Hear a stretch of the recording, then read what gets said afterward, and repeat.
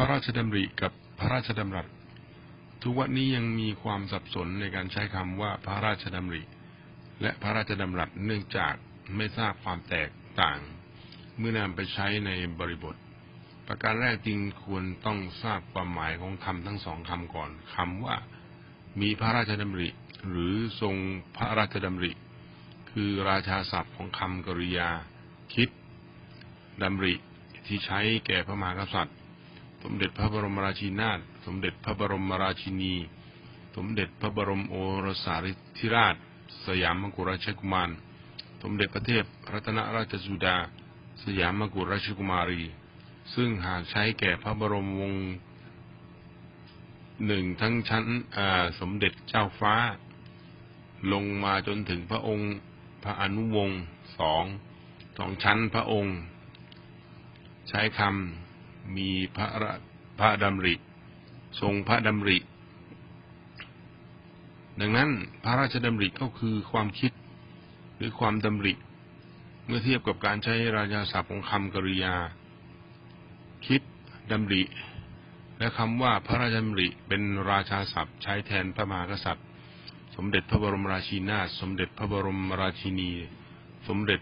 พระบรมโอรสาธิราช สยามกุฎราชกุมาร สมเด็จพระเทพรัตนราชสุดา สยามบรมราชกุมารี ซึ่งราชาศัพท์ของคำว่าความคิด ความดำริที่ใช้แก่พระบรมมงชั้นสมเด็จเจ้าฟ้า ลงมาจนถึงพระอนุวงศ์ชั้นพระองค์เจ้าใช้คำว่าพระดำริ ส่วนคำว่าพระราชดำรัส พระราชกระแส พระกระแส พระราชดำรัส คือคำพูด เป็นราชาศัพท์ที่ใช้แก่พระมหากษัตริย์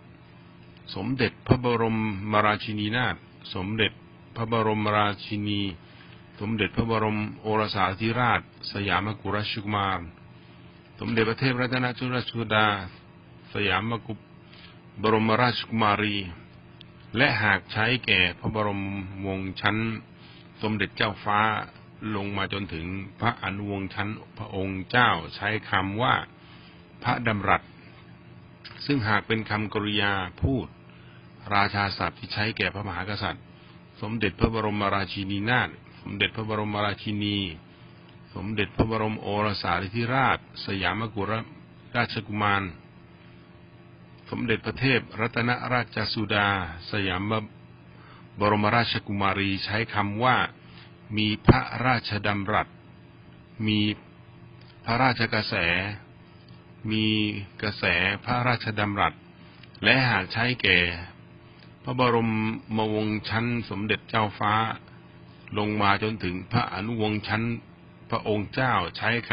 ำคำว่ามีพระดำรัส เมื่อจะใช้คำต่าง ๆ เหล่านี้ประกอบอยู่ในประโยคหรือข้อความ จึงควรพิจารณาด้วยว่าจะใช้หมายถึง คิดดำริหรือความคิด ความดำริ หรือจะใช้หมายถึงพูดหรือคำพูด โดยต้องพิจารณาเลือกใช้ราชาศัพท์ให้ถูกต้องเหมาะสมตามลำดับ ชั้นพระอิสริยศของพระเจ้านายด้วย